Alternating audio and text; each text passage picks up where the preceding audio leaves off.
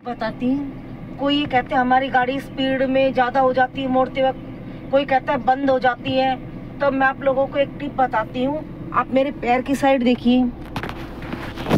बोलो। अब ये देखिए, पूरी क्लच दबी हुई है।